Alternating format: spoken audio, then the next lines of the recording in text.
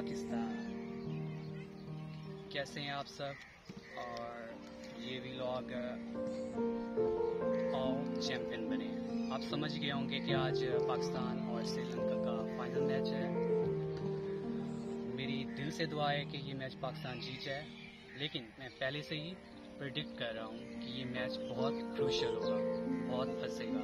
लेकिन इन इंशाल्लाह ये, ये मैच पाकिस्तान विन करेगा। लेकिन मेरी ग्रीन शर्ट से एक अपील है रिक्वेस्ट है कि इसको इतना नहीं बनाएँ कि लोगों को हार्ट अटैक हो जाए। सो काइंडली थोड़ा सा बनाएँ ताकि मज़ा आए और ये मैच इंशाल्लाह इंशाल्लाह पाकिस्तान विन करेगा। और और मैं थोड़ा सा एक और प्रडिक्शन ये करता हूँ कि इस मैच विनिंग तीन प्लेयर्स होंगे पाकिस्तान की तरफ़ से, जो मेन रोल अदा करेंगे मैच मैच के मैच में जीतने का। नंबर वन बाबर आज़म जो पूरे एशिया कप में नहीं चले, लेकिन इस बार वो अच्छी परफॉर्मेंस देंगे। Number two Rizwan and number three Naseem Shah ये तीन प्लेयर्स हैं जो बहुत अच्छा परफॉर्म करेंगे इस मैच में और इन पाकिस्तान ये मैच विन करेगा। So stay tune let's see what happen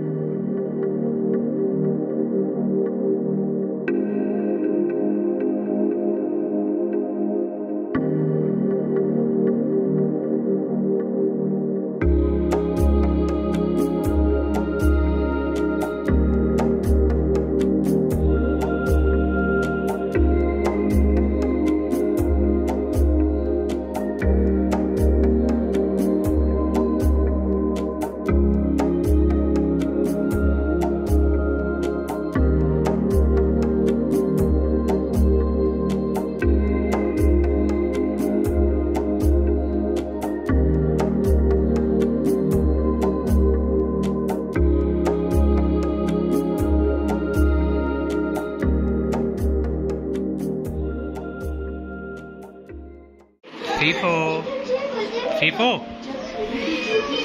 आज का मैच कौन जीतेगा? पाकिस्तान। पाकिस्तान।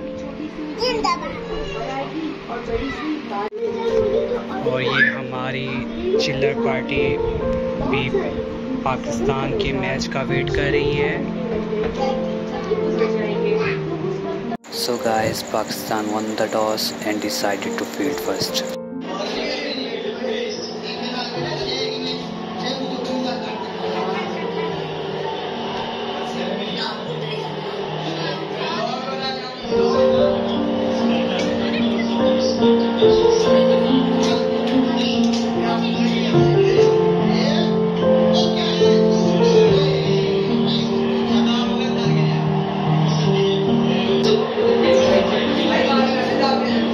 तो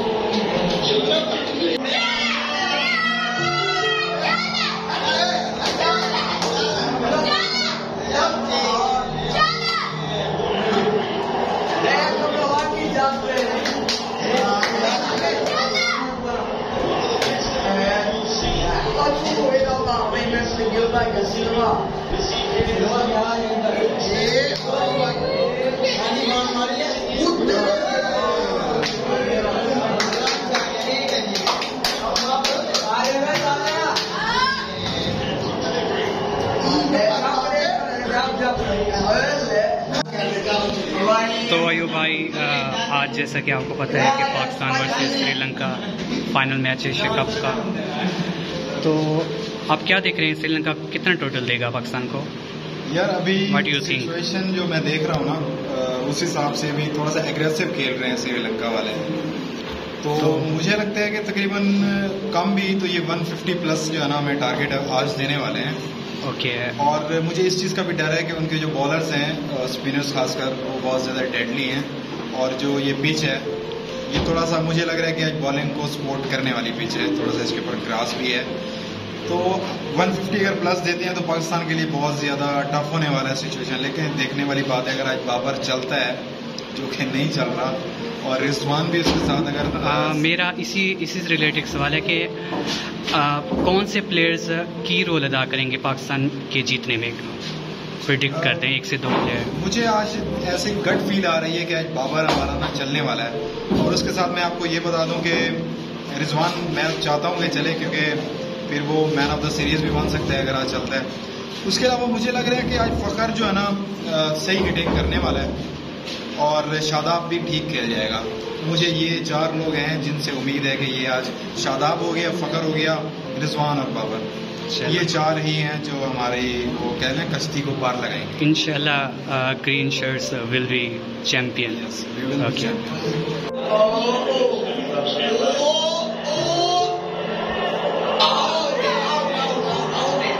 Umpire call umpire call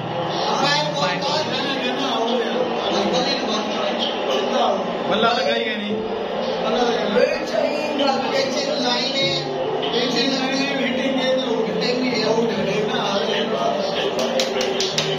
अद्दी ना लगे।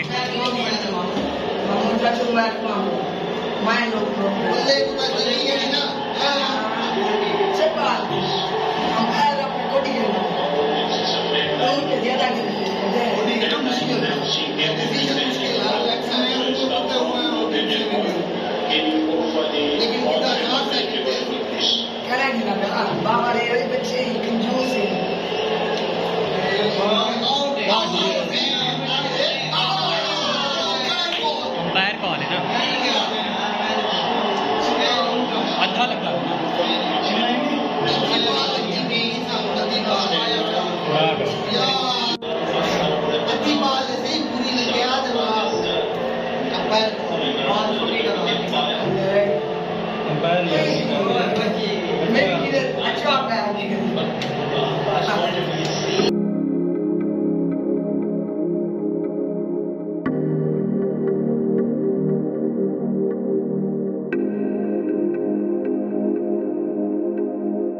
Plus the game for five. And goal since then. So the Bangor also in Got a 30 in the last game day. Things अस्सलाम वालेकुम राणा साहब big तो रन साहब आप क्या सोच रहे हैं कि श्रीलंका ने 170 स्कोर किया है पाकिस्तान ये चीज़ कर पाएगा. मैच किसको परफॉर्म करना चाहिए? इस वक्त जो देखा जाता है वो मैच है बड़ा मुश्किल। लेकिन पाकिस्तानी टीम की अलहमदिल्ला बैटिंग बहुत अच्छी है। उम्मीद बहुत है कि ये मैच पाकिस्तान इजी चेस कर लेगा इंशाल्लाह। कौन सा प्लेयर सबसे आज आपको लग रहा है कौन सा बैट्समैन सबसे अच्छा परफॉर्म तो करेगा? माशाल्लाह सभी अच्छे हैं लेकिन बाबर आज़म का ज़्यादा तवक्को है। क्योंकि वो गाना एक खिलाड़ी है वो समझता है कि जैसे मैचेस में वो रहा है उसको ज़्यादा इस चीज़ का एक्सपीरियंस होगा। आप क्या कहते हैं माजुर रहमान साहब? अगर ओपनिंग हमारी जो है ना स्टार्ट अच्छा दे दे जाती है तो इंशाल्लाह जो है मैच हमारा है। अदरवाइज़ देखें कि जैसे आमिर भाई फरमा रहे थे कि जो है ना आसिफ अली तक मैच जाएगा। लगता तो ऐसे है कि जो है ना एंड तक मैच आएगा इंशाल्लाह। आप क्या कहते हैं आमिर शहजाद साहब? मिडल ऑर्डर का किरदार बहुत अहम होगा। उसकी परफॉर्मेंस आज मस्ट है अदरवाइज़ बहुत मुश्किल हो जाएगा मैच फखर जमान की परफॉर्मेंस ही मैच को आगे लेके जाएगी। मेरे मैच को मुताबिक फखर जमान का चलना बहुत ज़रूरी है। ओपनिंग प्लेयर को कैसे देख रहे हैं रिजवान और बाबर आज़म को? रिजवान तो परफॉर्म कर रहे हैं। तो आज बाबर आज़म इंशाल्लाह बड़ा मैच है। इंशाल्लाह परफॉर्म करेगा। चले चले इंशाल्लाह।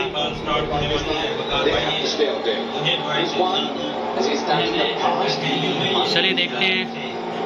आओ चैंपियन बने, इंशाल्लाह green shirts will be champion today पहली बॉल नौ लेट्स सी रिजवान भाई क्या करते हैं? रिजी भाई क्रीज पे मौजूद हैं।